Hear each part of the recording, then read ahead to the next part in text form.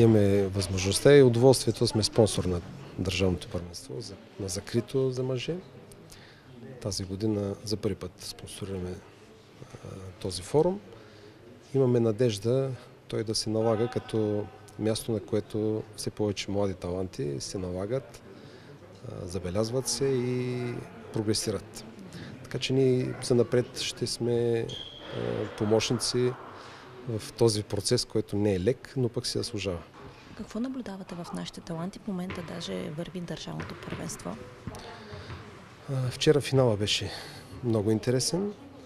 Донския Лазаров спечелиха, както и Wildcard за София Open. Виждаме, че тенисът придобива все по-голяма популярност в нашата страна и все повече таланти успяват така да избоят. Надяваме се и на международния фронт те да се налагат все повече и да имат по-добри изяви. Днес финала също е изключително интересен и също двамата финалисти ще получат уайлдкарт за София Open. Какво ви свързва с тениса? Обичате ли да гледате? Любител ли сте? Играли ли сте? Да, обичам да гледам тенис. може да се каже, че съм фен на този спорт и също поигравам по-малко. Да, смятам, че това е един от много красивите спортове, един от спортовете, които имат изключителна световна популярност.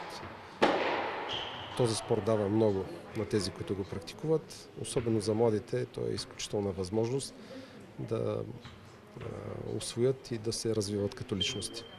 Може да кажем, че той е един от най-скъпите спортове в България и всички, които играят този спорт, имат нужда от хора като вас. Да, има смисъл да се, да се помага, защото това, което виждаме днес, това, което се забелязва напоследък като география на спорта в страната, е, че той става все популярен не само в София, в големите градове, но и в по-малките градове.